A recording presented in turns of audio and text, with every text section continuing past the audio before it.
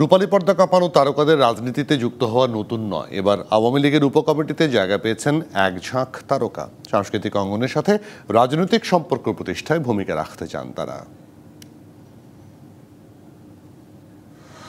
দুই হাজার উনিশ একুশ মেয়াদে আওয়ামী লীগের সংস্কৃতি বিষয়ক উপকমিটি গঠিত হয়েছে। সদ্য ঘোষিত উপকমিটিতে জায়গা পেয়েছেন রূপালী পর্দার এক ঝাঁক তারকা। ভঙ্গুর চলচ্চিত্র শিল্পের জন্য কিছু করতে চাই কারণ উপকমিটিতে রয়েছেন সাবেক সংস্কৃতি মন্ত্রী অভিনেতা আসাদুজ্জামান নূর, সাবেক প্রতিমন্ত্রী অভিনেত্রী তারানা হালিম, আজিজুল হাকিম, ফেরদৌস আহমেদ, জায়েদ খান ও সাংস্কৃতিক ব্যক্তিত্ব চয়ন ইসলাম সহ আরও অনেকে।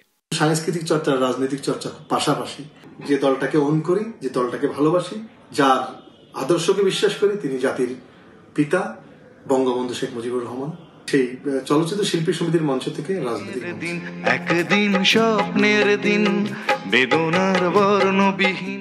তারকারা বলছেন মানুষের কল্যাণ করার লক্ষ্যেই তারা জড়িত হয়েছেন রাজনীতিতে। ঘুচাতে চান বাংলা চলচ্চিত্রের দুর্দশা। দেখেন চলচ্চিত্র শিল্পীদের জন্য কল্যাণ ট্রাস্ট করে দিয়েছেন মাননীয় প্রধানমন্ত্রী। এই দাবির পরিপ্রেক্ষিতে আমাদের শিল্পী সমিতির করোনাকাল করোনাকালীন সময় আর্থিক সহায়তা দিয়েছেন। যত্রতভাবে বিদেশি শিল্পী আনা বন্ধ হয়েছে। তো এগুলো কিন্তু সব শিল্পী সমিতি থেকেই আমরা করেছিলাম। তো সামনে আরও কিছু করতে হবে চলচ্চিত্রের জন্য। রাজনীতিতে এসে সাধারণ যারা দুর্দশাগ্রস্ত মানুষ যারা সে উপকারটা করতে চায়। সত্যিকার অর্থে কেউ কাউকে ভালোবাসলে মুখ ফুটে বলার প্রয়োজন হয় না। বাইশে ডিসেম্বর অনুমোদন পাওয়া দলটির মুক্তিযুদ্ধ বিষয়ক উপকমিটির সদস্য হয়েছেন জনপ্রিয় অভিনেত্রী ও শহীদ বুদ্ধিজীবী সন্তান শমী কায়সার। একটি উন্নত জাতিতে পরিণত ডিবিসি নিউজ ডেস্ক। এ বিষয়ে আরও জানাতে আমাদের সঙ্গে যুক্ত হচ্ছেন আওয়ামী লীগের সংস্কৃতি বিষয়ক উপকমিটির সদস্য জায়েদ খান। জায়েদ খান, আপনাকে স্বাগত আমাদের সঙ্গে যুক্ত হওয়ার জন্য। আপনি যেটা বলছেন আপনারা যে সাংস্কৃতিক অঙ্গনের সাথে রাজনৈতিক অঙ্গনকে যুক্ত করার জন্য আপনারা কাজ করবেন। কীভাবে কাজ করবেন একটু বলবেন কি? আসলে রাজনীতি যারা করে, তারা সংস্কৃতি চর্চাও করে। এটাও সত্যি কথা। সংস্কৃতি মানুষগুলোই তো রাজনীতিতে প্রবেশ করে। আমরা যে চলচ্চিত্রের সাথে কাজ করছি, আর যারা এই চলচ্চিত্রটা কিন্তু বঙ্গবন্ধু তৈরি করেছিলেন। এই এফডিসি বঙ্গবন্ধুর হাতেই প্রতিষ্ঠিত। উনিশশো সাতান্ন সালের তেসরা এপ্রিল। জানেন, সেখানে মাননীয় জননেত্রী শেখ হাসিনা তেসরা এপ্রিলকে জাতীয় চলচ্চিত্র দিবস হিসেবে ঘোষণা করেছেন, আমরা প্রতি বছর পালন করি। তো আমরা এই সরকারের সাথে কিন্তু যে একটা শিল্পীদের সক্ষতা বা আমরা যারা আগে ওই রাজনীতির সাথে সম্পৃক্ততা ছিলাম, তো আমরা চাচ্ছি এই চলচ্চিত্রটাকে যেন চলচ্চিত্রটা দেশের গণমাধ্যম। আজকে মুক্তিযুদ্ধের কথা বলেন আমাদের স্বাধীনতার কথা বলেন, সবকিছুই কিন্তু আমাদের একটা চলচ্চিত্র বা আমাদের গণমাধ্যমেরগুলো অবদান কিন্তু অনস্বীকার্য। আমরা চাই সেই জায়গাটা থেকে এই জননেত্রী শেখ হাসিনার নেতৃত্বে আমরা সেই চলচ্চিত্রের যে বর্তমান যে একটা আমরা বলি যে একটা খরায় কাটছে, একটা দুরবস্থায় যাচ্ছে হলগুলো, ভালো সিনেমা জন্য সিনেমা হলগুলো বন্ধ। এই সিনেমা হলগুলোকে সংস্কার সিনেমা ভালো সিনেমা যেন নির্মাণ করতে পারি আমরা আমরা দেশের মুক্তিযুদ্ধের ছবি যেন আরও বাড়াতে পারি গণমাধ্যম মানে গণমানুষের কথা যেন আরও সিনেমায় ফুটিয়ে তুলতে পারি। সে এদেশে কিন্তু তিতাস একটি নদীর নাম। এদেশে হাঙ্গর নদী গ্রেন হয়েছে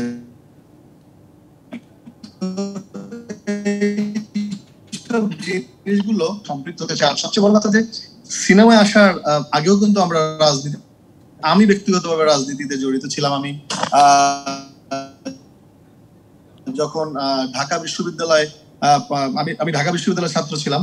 সে জহুরুল হলের ছাত্র। সে ঢাকা বিশ্ববিদ্যালয়ে পড়াকালীন সময় কিন্তু আমি ছাত্রলীগের রাজনীতিতে জড়িত ছিলাম। এরপর সে রূপালী পর্দায় আসা। কিন্তু সে বঙ্গবন্ধুর আদর্শ বা আওয়ামী লীগের যে আদর্শ, সেটা কিন্তু আমরা সেটা কিন্তু আমরা আসলে ভুলি জি সম্ভবত আপনার ফোনে বারবার ফোন আসছে। আমি আমি- আপনি যেটা বলেছেন যে ভঙ্গুর চলচ্চিত্র শিল্পের জন্য এখন আরও কাজ করতে আরও সুবিধা হবে। আপনি তো এমনিতেই চলচ্চিত্র শিল্পী সংসদের সাধারণ সম্পাদক। আপনি তো এমনিতেই একটি কমিটিতে আছেন। এমনিতেই দাবিগুলো নিয়ে সরকারের সঙ্গে আলোচনা করতেই পারেন। এখন আওয়ামী লীগের কমিটিতে আসার পরে সুযোগটা কি আরও বাড়বে? অবশ্যই বাড়বে। আমার তো একটা পথ তৈরি হলো। আমার তো শিল্পীদের জন্য একটা চলচ্চিত্র শিল্পীদের ভোটে আমার একটা পথ দুই দুইবার আমি নির্বাচিত হলাম সাধারণ সম্পাদক হিসাবে। এখন আওয়ামী লীগের যারা আছেন, তারা আমাকে যোগ্য মনে করেছেন বা তারা আমাকে করে মানে চিন্তা করে আমাকে একটা পদ দিয়েছেন। এতে তো সরকারের সাথে আমার সম্পৃক্ততা আরও বাড়বে। আমার আরও একটা জায়গা, আমার একটা জায়গা তৈরি হলো। আমি চলচ্চিত্র নিয়ে চলচ্চিত্র শিল্প নিয়ে কথা বলতে পারব। চলচ্চিত্র শিল্পীদের নিয়ে কথা বলতে পারব। আপনি জানেন, এমনিতে আমাদের অনেক শিল্পীরা, যারা একটু সহশিল্পী, তারা আর্থিক অনেক অসচ্ছল যারা সহজে রোলগুলো করে মেইন রোল ছাড়া। এবং আপনি জানেন যে সিনেমা হলগুলোর অবস্থা কিন্তু খুবই ভঙ্গুর। সেই সিনেমা দর্শককে হলমুখী করতে হলে ভালো সিনেমা হল দরকার, ভালো সিনেমা তৈরি দরকার। এই জিনিসগুলো নিয়ে কিন্তু সরকারের সাথে আমাদের একটা সম্পৃক্ততা তৈরি হবে ইনশাল্লাহ এবং আমরা এই পদের কারণে আমার এই কর্মকাণ্ড আরও একটু পরিধি বিস্তৃতি লাভ করবে, এটা আমার বিশ্বাস। এবং আমার দলের প্রতি আমার যে আনুগত্য বা নেতাদের বা সিনিয়র নেতাদের প্রতি যে ভালোবাসা, সেটাও আমার এখানে বহিঃপ্রকাশ ঘটবে ইনশাল্লাহ মনে করি আমাদের কাজটা। আরও সহজ হবে, আমি বিশ্বাস করি। জি, একটা যে মানে সাংস্কৃতিক অঙ্গন, সাংবাদিকদের মধ্যে বা বিভিন্ন এরকম সেবা বা সংস্কৃতি অঙ্গনের মানুষগুলো যখন কোনো রাজনৈতিক দলের সঙ্গে সরাসরি যুক্ত হন, সেক্ষেত্রে একটা সমস্যা তৈরি হয় কেন? আমি এম- এমনিতেই জানতে চাই।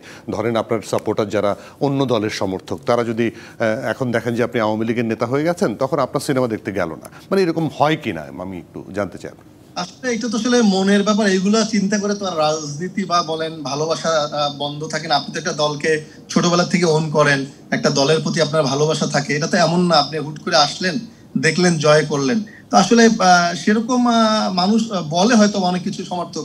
আবার আপনি যখন আপনার ভালো কাজ উপহার দিবেন, আপনি একটা ভালো সিনেমা করবেন একটা ভালো হৃদয় হৃদয় টাচি একটি সিনেমা অভিনয় করবেন তখন কিন্তু আবার সমস্ত মানুষ এগুলো ভুলে গিয়ে আপনার সিনেমাটা কিন্তু দেখবে বা সেটা মানুষের কাছে খুব গ্রহণযোগ্য হবে বলে আমি বিশ্বাস করি। এখন আমি আমার জনপ্রিয়তা যদি নির্ভর করে বা চিন্তা করে আমি আমি আমার দলকে উন না করি এবং দল একটা ভালোবেসে পদ দিয়েছে, সেটাকে যদি আমি উন করে কাজ না করি, তাহলে সেটাও আমার জন্য অনেক নিজের সাথে নিজের একটা বড় ধরনের একটা প্রতারণা বলে আমি মনে করি। আর আমি মনে করি শিল্পী যখন পর্দায় থাকব, তখন তো আমি সবার সব শ্রেণির মানুষই আমাকে দেখবে, আমার ভালো কাজগুলোকে সমর্থন করবে যে ভালো না হয় সমালোচনা করবে। সেটা অন্য দিক। এবং আপনি যখন আপনার দলকে অন করবেন দলকে ভালোবাসবেন সেটাও তো আসলে একটা অন্য দিক। আমি মনে করি দুইটা দুইটা বিপরীতমুখী দুইটা জিনিস আসলে বেসিক্যালি জাহিদ খান যেহেতু আপনি শিল্পী সমিতির সাধারণ সম্পাদক সেই জন্য একটা প্রশ্ন না করলেই পারছি না। যদিও আজকের প্রসঙ্গের বাইরে সেটা হচ্ছে একজন শিল্পীকে গ্রেপ্তার করা হয়েছে আপনি জানেন। নবাব এলএলবি চলচ্চিত্র এলএলবি সিনেমায় একটি চরিত্রে অভিনয় করার জন্য পুলিশের মামলা গ্রেপ্তার করা হয়েছে। এটিকে বলা হচ্ছে যে স্বাধীনতায় হস্তক্ষেপ বা বলা অনেক কিছু বলা হচ্ছে। আপনি এই বিষয়ে শিল্পী সমিতির পক্ষ থেকে কোনো রকম বক্তব্য দেবেন কি? ভাই আপনাকে আমি প্রথমে একটু স্মরণ করিয়ে দিতে চাই। আমার কিন্তু আমি কিন্তু পাঁচশো শিল্পীর প্রতিনিধি, আমার চারশো নিরানব্বই জন আমার তালিকাভুক্ত শিল্পী। তো যাকে গ্রেপ্তার করা হয়েছে তাকে আমি ব্যক্তিগতভাবে চিনি না এবং সে কিন্তু আমার চলচ্চিত্র শিল্পী সমিতির তালিকাভুক্ত মেম্বারও না। আপনার অবগতির জন্য আমি সংবিধান আমাকে বলেছে, যারা ভোট দিয়ে নির্বাচিত করেছে এবং যারা যাদের ভোটে আমি নির্বাচিত, তাদের স্বার্থ এবং